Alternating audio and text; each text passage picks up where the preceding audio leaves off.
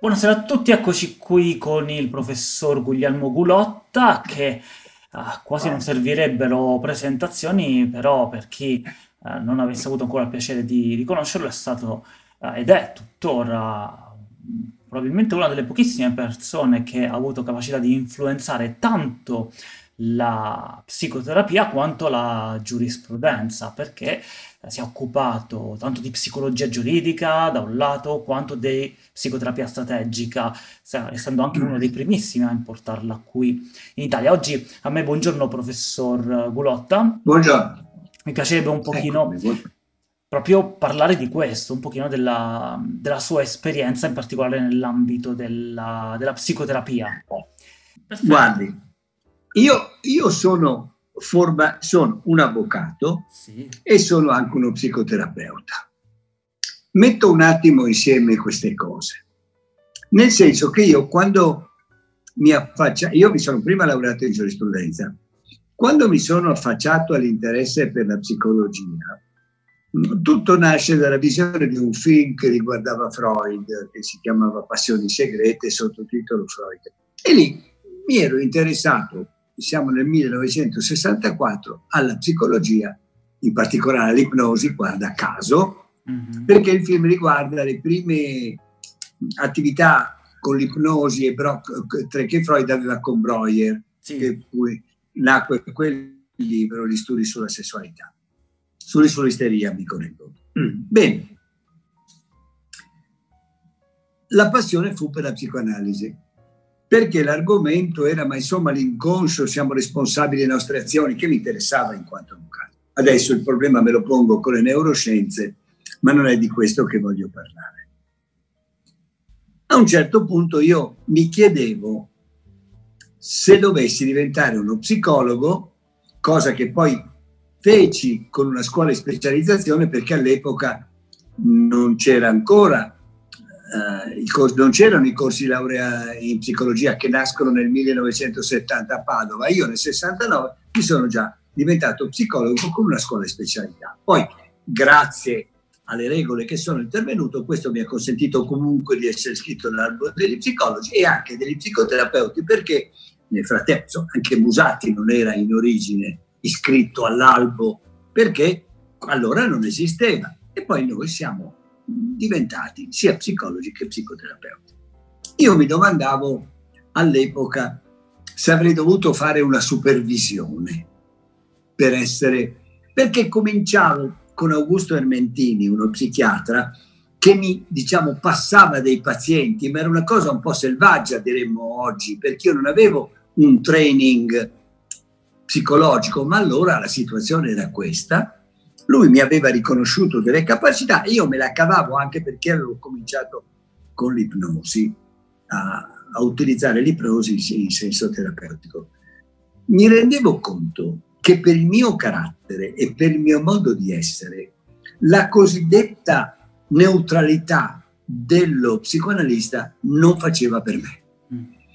Io sono comunque uno di azione che deve fare e la passività consigliata, dico solo consigliata perché poi di fatto non è precisamente sempre così, comunque la passività consigliata al terapeuta per me era anche noiosa sotto il profilo caratteriale e poi non me la sentivo di lavorare ascoltando e basta eh, come uno schermo, una lavagna su cui il paziente scriveva i propri guai e i propri problemi. E poi, in quanto avvocato, ero più volto a risolvere i problemi e pian piano io ho modificato il mio modo di ragionare.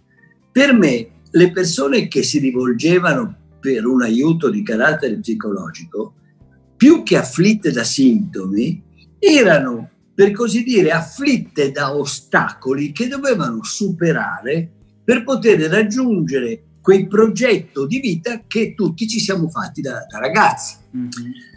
Qui mi ha aiutato da un lato la conoscenza dell'opera di Milton Erickson. Mi viene riconosciuto di essere quello che ha fatto conoscere in Italia Milton Erickson.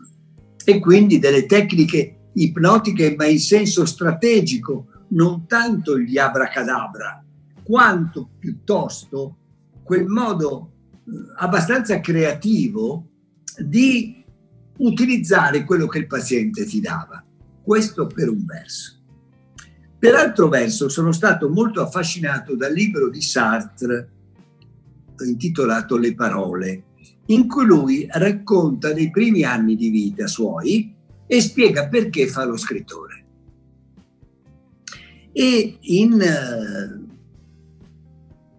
in alcuni libri, mi pare Critica della ragion pratica, lui dice che gli esseri umani hanno questo progetto che devono raggiungere e che per raggiungerlo il processo di personazione, così lo chiama, devono avere degli obiettivi che perseguono che possono essere ostacolati. Allora, ho messo insieme le cose e ho capito che per me quello che poteva funzionare era questo. Le persone mi raccontano dei problemi che possono essere anche di carattere giudiziario, ma i problemi di carattere giudiziario sono poi di carattere molto spesso di carattere personale, perché danno ansia, preoccupazione, eccetera. E comunque, anche se non fossero di carattere giudiziario, li considero dei problemi piuttosto che dei sintomi.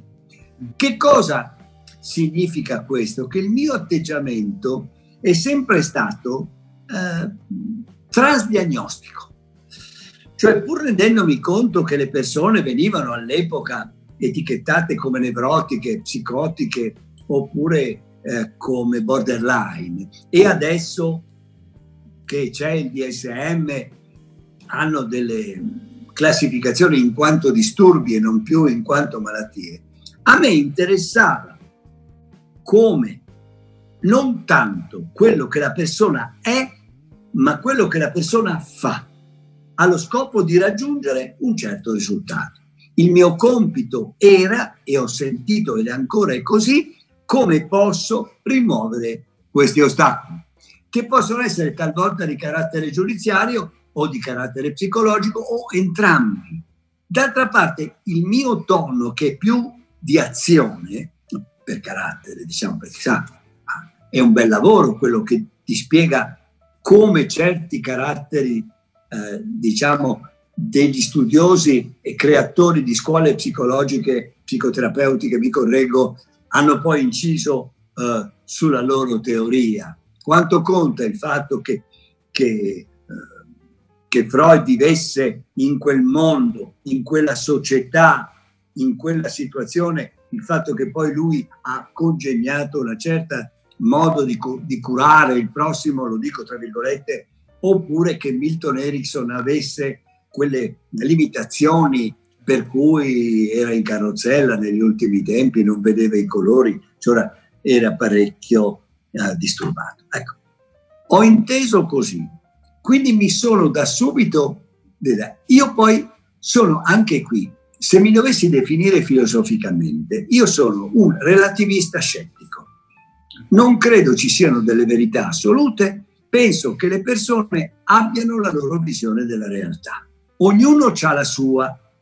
Come dice un bel proverbio eh, cinese, tre quarti di quello che vediamo è dietro i nostri occhi, cioè a secondo di come noi ci poniamo nei confronti della realtà che stiamo vivendo. Allora, se io parto da questa premessa, rispetto a, al terapeuta cognitivo comportamentale, il mio impegno non sarà di cambiare il suo modo di vedere la, la realtà, ma di prendere la realtà per lui come la vede, per vedere di agire in modo che tutto questo possa costituire un superamento dell'ostacolo che ha.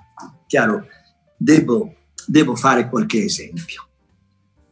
Date questo, si rivolge a me una signora, così vedete anche il problema il problema eh, della mia attività di avvocato e di psicologo, terapeuta, che mi dice, ma insomma, questo mio ragazzo che era qui con lei, questo ragazzo che cosa fa? Già non va bene in matematica, dopo non la capisce. Bene, c'ha questo esame all'università di matematica, anziché mettersi lì a studiare, cosa mi fa la sera prima dell'esame? Cosa mi fa? Esce con gli amici, torna magari sbronzo, ha bevuto, fumato, spero che si sia limitato a un paio di sigarette normali e poi dopo, eh, eh, dopo è bocciato, mi ha spiegato uno psicologo che trattasi di una nevrosi di destino e che lui si autopunisce di. Ecco, per esempio, qui uso una uh, tecnica che consiste nel ristrutturare quello che mi ha detto in un modo diverso, che sia più accettabile, eccetera. Dico, signora, va bene, lui non è bravo in matematica, neanch'io se le vuole sapere. Ecco, intanto la, la apertura, guai, lo psicoanalista si domanda se può stringere la mano al paziente. C'è una bellissima eh, parole di Eric Berne in cui lui spiega che salutando il paziente si rende disponibile a stringergli la mano senza allungarla, però capisce che l'altro se vuole eh, lo può fare. Dicevo, quando dico che anch'io non sono bravo in matematica, sto dicendo, sono, non so fare due più due, però sono qui lo stesso, certo. in un bello studio. La gente mi chiede consigli. Eh, bene, dicevo, in questa piccola apertura che faccio sul mio conto, poi dico, vediamo un po'. È chiaro, lo capisci senza essere un grande studioso di psicologia, se io vado a fare l'esame giù di morale perché so che non sono bravo in quella materia, eh, sarà facile che, che io vada male perché conta molto il ruolo dell'aspettativa. Allora, se io penso di non essere bravo in matematica, io ho una attribuzione interna stabile e incontrollabile, perché se non sono bravo in matematica ci può essere bel tempo, ci può essere brutto tempo, eh, posso sforzarmi finché voglio, sempre non sono bravo in matematica. Ma se la causa per cui non ho fatto bene l'esame è esterna e controllabile, perché io sono uscito con gli amici, esterna, quindi controllabile che posso e non è stabile, perché io domani vorrà dire che la prossima volta che faccio l'esame non esco con gli amici, non vado fuori a far casino la sera precedente, ecco che riattribuendo le cose, eh, definendole con un frame diverso, il mio atteggiamento e il mio lavoro consiste proprio nella capacità di farti vedere la realtà in una la tua realtà, cioè tu non sei bravo in matematica, d'accordo, però vediamo come possiamo risolvere il problema di superare questo esame. Ecco, questo dà un po' l'idea di come la penso. Senta, in un, cioè, un titolo di un suo um, ad un suo intervento a un convegno di terapia strategica del 2007 che è fantastico, io non, non c'era all'epoca, stavo finendo l'università, ma trovandolo online ho visto che si chiama Grammatica e sintassi della psicoterapia strategica. Ecco, mi piacerebbe avere un pochino da lei uh, un'idea di questo, qual è la grammatica e la sintassi e questo vuol dire, in realtà, è la grammatica e la sintassi di Milton Erickson, di come lui parla nelle cose. Fingiamo. Lei eh, preferisce sentirsi meglio subito o tra poco? è una costruzione molto suggestiva perché in teoria potrebbe sentirsi meglio tra un anno, ma non subito. Lei è bravo, non è bravo in matematica e però se la cava molto bene nella letteratura italiana. Io metto insieme le cose, costruisco grammaticalmente, sintatticamente le mie frasi, in modo che l'altro sia un po' trascinato da quello che dico. La smette eh, di, di, di fumare, è vero, delle cose che le fanno male si risponda sì o no. Ecco, io lo metto, noti bene, questo ragazzo non ci aveva ancora detto se fumava delle cose che gli fanno male, ma mettendo le cose così lo costringo a dire sia che mi risponda sì, sia che mi risponda no, di avendogli detto lei la smette di fumare delle cose che fanno male, di riconoscere che stanno fumando, che può andare bene come non andare bene. Senta, questo marito mi dice che picchia la moglie perché lei lei lo fa uscire, gli fa perdere le staffe. Lei, ma dico, ma non può controllarsi. No, no, no, perché lei la deve vedere proprio. Io attenzione a dire queste cose. Perché non la strangola? Dico serena, tranquillamente. No, no. scusi, lei mi sta dicendo che non si controlla? No, vabbè. Ah, ecco, allora esiste la... Quindi non si controlla, ma fino a un certo punto. Vedi, questo passaggio, da stare attenti per ora che non ti dica, beh, mi ha dato una buona idea, provvedo appena vado a casa, no? Questo passaggio consente a lui, diciamo, è una domanda strategica perché afferma più di quanto non chieda. Certo. Afferma cioè che non è vero che tu non ti puoi controllare, tanto è vero che tu ti fermi a un certo punto. Uno che non si controlla, purtroppo succede, fa altro genere di cose. Metterti di fronte a questo ti può aiutare perché i, quelli che noi chiamiamo dei sintomi sono dei circoli viziosi perché io non bevo, io mi sento agitato e sono ansioso e allora bevo per sentirmi più tranquillo. Però poi quando bevo, poi mi sento agitato se non bevo, allora bevo perché mi passi l'agitazione, mi passa l'agitazione, poi smetto, mi viene da bere. Questo circolo vizioso comporta che poi è una profezia che si autoadempie, e cioè io se non bevo sto male, quindi bevo per non star male, ma quando bevo sto male e va a finire, cioè che quello che mi trovo di fronte in questi casi è che spesso la soluzione tentata è precisamente il problema, proprio mm. perché sto cercando di non bere perché mi fa male, però poi bevo perché, non, perché ho la crisi di astinenza, ecco. E allora forse, ma provi a bere un po' di più, si sforzi, ecco la prescrizione del sintomo. Beh, provi a vedere cosa succede, provi a proprio una ciunca terribile, vediamo cosa succede. Lui comincia a capire che se il sintomo lo può aggravare, mm, significa che comunque è controllabile e quindi così come lo può aggravare, lo può anche diminuire. Questo è naturalmente molto delicato perché bisogna essere certi che tutto venga mantenuto là dentro.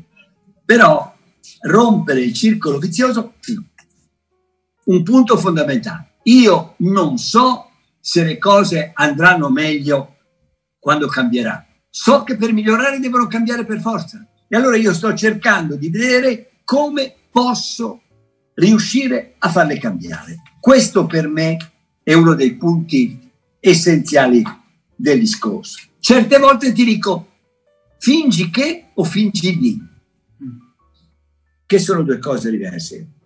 Eh, fingi, chiedo di fingere oggi sto peggio di ieri, oppure fingere di essere più comprensivo del solito. Proviamo a fingere, capite? Perché il fingere è terribile, perché ti, la ti, ti fa capire che tutto quello che dico e faccio può anche essere simulato. L'attore ti dà, dà uno schiaffo all'attrice perché così prevede la scena e lo schiaffo è vero, ho finto di darti uno schiaffo che però ti fa male alla guancia perché è comunque uno schiaffo. Il fingere di e il fingere che sono posizioni che ti fanno capire da un lato che noi mi chiedono perché ho una certa, credo, non so se si nota, una certa vivacità nell'esposizione, se io ho, ho fatto l'attore. No, io sì, beh sì, rispondo io lo faccio tutti i giorni nel palcoscenico della vita e ho come comprimari tutti quelli che mi stanno com- come te ascoltandomi in questo momento, o così, perché è così. Allora, re- rendendosi conto che io posso fingere di, mi posso chiedere se per caso quelli che io chiamo sintomi non siano delle cose che io agisco, per esempio, per difendermi. Mm. Così come io posso eh, eh dire che quel momento, diciamo, di in, prima notte di nozze, tuo, la tua capacità, diciamo, sessuale del giovanotto, fresco sposo, diciamo, non è all'altezza della situazione. Ovviamente è uno smacco per lui, ma potrebbe essere ridefinita come una cosa di tal, tale felicità, di tale gioia che la, la, fetta di tenerezza che c'è in quella cosa che chiamiamo l'amore, che è fatta, diciamo, di libido e anche di tenerezza, ha preso il sopravvento. Questo non significa assolutamente che non c'è trasporto, che non ci sarà, ma che quel momento è tanto cruciale che questo significa. Ovviamente, per fare questo genere di cose bisogna avere gli strumenti. Quando io ricevo a quel ragazzo, a quel ragazzo, eh, forse tu l'hai fatto, o alla mamma del ragazzo, perché così eh, domani potrei dire agli esami io sono andato male perché ho fatto lo scemo, sono uscito con gli amici. È un concetto che nella letteratura della psicologia sociale americana viene chiamato, traduco in italiano, autoimpedimento. Mm-hmm. Cioè io mi metto in una situazione per cui non riesco a fare una cosa volontariamente, certo. proprio per vedere, sono quelle cose che facciamo, so io, quello, parlando degli esami, quello che piange continua, non sono preparato, non sono preparato, ve lo dico. Poi è pro- qual è questo pessimismo difensivo? Cosa succede? Che si è promosso, bravissimo, dicevi che non è preparato, eh, se non, e se non fa, me l'avevo detto, non sono preparato. Cioè bisogna avere conoscenza di que- tutti questi meccanismi. Eh, per io non mi considero uno psicoterapeuta strategico, ma, ma uno psicoterapeuta stratega, cioè è ancora contrario al mio modo di essere, neanche di essere in quella corrente, per cui non rigorosa certamente, non è come quelli che un tempo dicevano che erano degli psicoanalisti ortodossi. Mi veniva un crampo a, alla pancia perché Già non mi piacciono quelli che sono ortodossi nella religione, ma quelli che poi sono ortodossi nella scienza, una cosa mi fanno eh, veramente pensare che non possono che essere poco, eh, poco efficaci, perché se è vero che ciascuno di noi è come tutti gli altri, come qualcun altro, come nessun altro, è evidente che aiutarlo significa confezionare un vestito su misura, non un vestito diciamo di quelli che, di taglia che va bene un po' per tutti, perché quello lì ha bisogno di quella cosa e eh,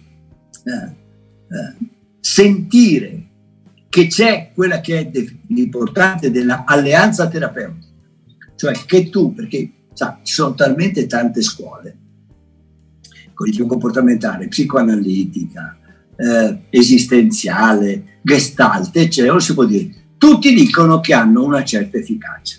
In effetti, negli studi prima si notava, c'è uno studio terribile, che i pazienti in attesa di entrare in psicoterapia guarivano.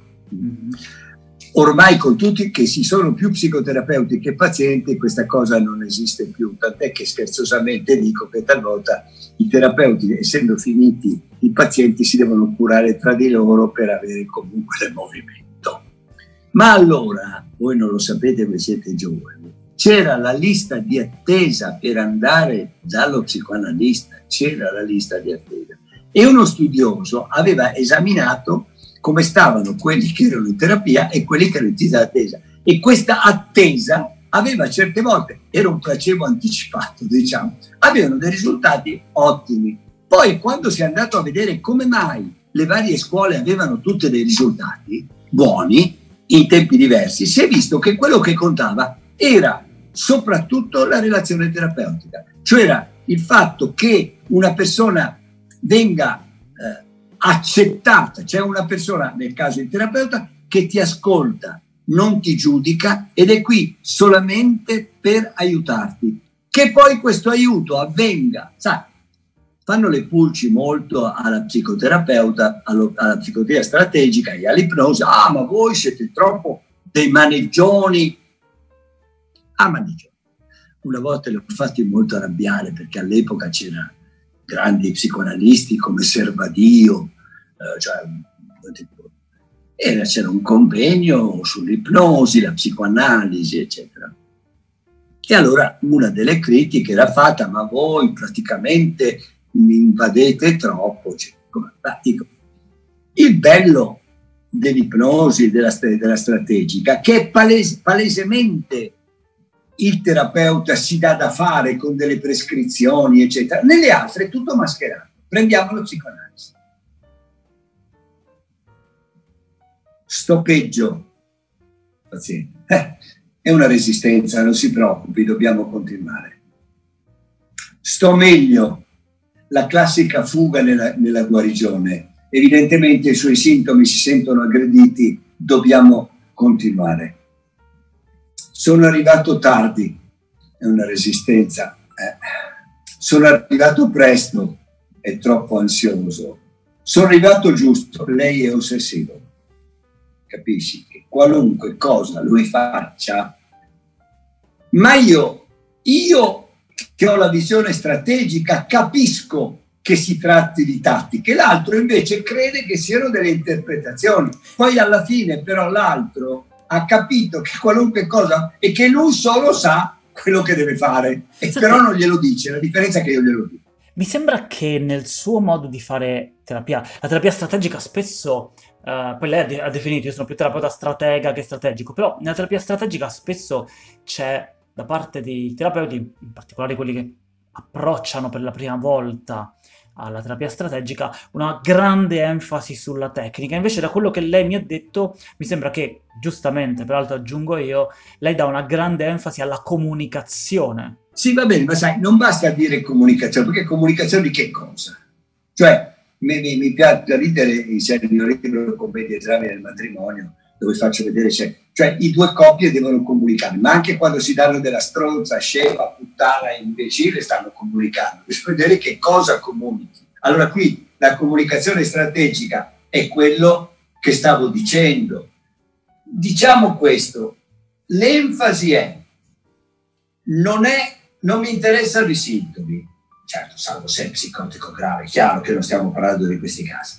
Mi interessa vedere qual era il tuo progetto di vita, come ti sta ostacolando, come insieme possiamo risolvere per migliorare, per superare questi ostacoli. Questo è. Per quello io ti posso dare delle indicazioni. Tu vedi come fare. La mia indicazione nel caso è questo. Provati a provare più mal di testa.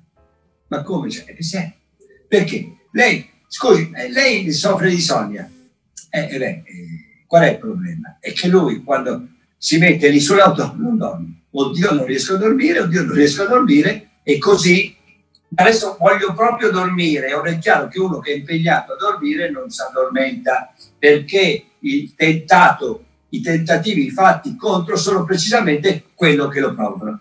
Cosa facciamo tutti? Ci mettiamo a leggere due pagine di un libro che non riusciamo a leggere più di due pagine, che sono sempre le due pagine che leggiamo. Perché? Perché la nostra attenzione non è più dirottata sul fatto che mi devo addormentare. Ma devo se, a me piace la televisione vedere film, possibilmente scegli, ce n'è tanti. Perché se è un film magari interessante mi prende e non mi addormento. Invece un film un po' stupidino, non orrendo, ma stupidino, lo guardo e poi mi lascio andare, capito? Ma queste sono piccole strategie che usiamo tutti, a certe volte, anche perché devi rendere conto alla moglie, al marito, ai figli, non devi fare così, non devi far colà, mangi troppo. Eh, a poco me ne ha una cosa di comunicazione che ti piacerà. Stavo mangiando e un'amica mangiando della morta. E mi dice, guarda che ti fa male il grasso animale. Scusa, ma c'è la virgola o non c'è la virgola? Devo capire. Tu hai detto ti fa il grasso animale e va bene, oppure ti fa male il grasso animale. Capito? Io poi sono un cultore delle parole per me, sono un custode di come si parla e non mi piace come si parla. L'ultima che non mi piace, adesso non sono più capaci di dire silenzio, devono dire silenzio assordante, perché sta roba gli piace, godono, perché gli sembra una figura retorica straordinaria. Silenzio assordante non c'è più silenzio. Che fine ha fatto il silenzio? Spesso e volentieri, uh, spesso e volentieri ho delle crisi d'ansia. Beh, spesso capisco, poi volentieri non credo. Questo ti dico che voi e noi che facciamo questo lavoro, prima bisogna studiare anche cose che vengono da fuori dei nostri studi prettamente clinici, perché se noi studiamo la relazione, dobbiamo sapere che cosa dice la psicologia sociale e interpersonale delle relazioni, perché solo così noi possiamo poi portarle in quel contesto speciale che è la relazione d'aiuto, perché io la vedo non tanto come una cura, ma come una relazione d'aiuto. Le chiedo l'ultima, l'ultima cosa, in realtà sarei ascoltarla ancora a lungo. Uh, però una, una, cosa, una domanda che faccio sempre uh, alla fine de, de, delle, mie, delle, mie, interviste, che credo che lei possa dare qual- un contributo notevole. Io chiedo sempre, immagini, immagini di dover dare un suggerimento a un giovane psicologo, un suggerimento... A un giovane psicologo? A un giovane psicologo, immagini un suggerimento per praticare nella vita di tutti i giorni, nella vita quotidiana, qualcosa, fare un esercizio, immaginiamolo così, che gli permetta poi di essere un migliore psicoterapeuta quando si trova a studio. Quindi che suggerimento gli darebbe? Quale esercizio eh, gli direbbe di fare? Senta, io l'esercizio non ce l'ho. Io posso dire questo ai suoi ascoltatori nella fondazione mia omonima c'è la possibilità di scaricare dei libri che sono libri che ho scritto io e che poi eh, quando è esaurito presso l'editore io ho poi mi sono preso i diritti, ripreso i diritti e poi l'ho messo gratuitamente. I libri sono due. Uno si chiama Psicologia della psicoterapia, scritto con Del Castello. Consiglierei di leggere, ma soprattutto consiglierei di andare a leggere Il terapeuta stratega. Quello è il libro che è la mia summa di questa materia, in cui le cose che le ho detto così di corsa sono dette più in dettaglio. Lo so, per esempio, l'uso dell'umorismo, ha visto che ogni tanto scherzo, l'uso dell'umorismo nella, eh, nella, nel colloquio, con attenzione no? che non si senta preso in giro. Eh, l'uso della metafora, che non sono solo le solite metafore, ma come si possa, si possa usare metafore da su, giù, mio marito è un, è un mio matrimonio è un inferno, quindi vuol dire che lui è un diavolo, con, con tutto quello che la metafora si porta dietro, non l'ha mica inventata la psicoterapia strategica, perché anche nostro Signore Gesù Cristo faceva le parabole perché diceva al perché suocera intendesse, e cioè che è molto più facile far arrivare qualcosa indirettamente, perché direttamente ti difendi, indirettamente no. Il mio consiglio è studiate, che è una cosa eh, alla fine così, e domandarsi poi quanto di me sono io. Perché non è tanto chi sono io, quanto di me sono io, voglio dire. Io sto facendo questo lavoro, intanto primo perché lo faccio? Perché, fa, perché ho deciso di aiutare il prossimo, perché aiutando il prossimo mi sento eh, meglio, mi sembra di avere una situazione di controllo perché se io aiuto gli altri vuol dire che non ho bisogno io di essere aiutato, oppure perché in caso mio nonno era un chirurgo, guardava dentro la gente, a me il sangue fa impressione, probabilmente io che porto il suo nome li guardo dentro ma senza sangue, è così che... Eh, perché questo ti fa ragionare e porti, vedi, per esempio, l'autosvelamento. Dicevo prima, anch'io non so la matematica. Quando mi viene uno che mi parla male delle donne, è una pacchia, perché io gliene dico di peggio.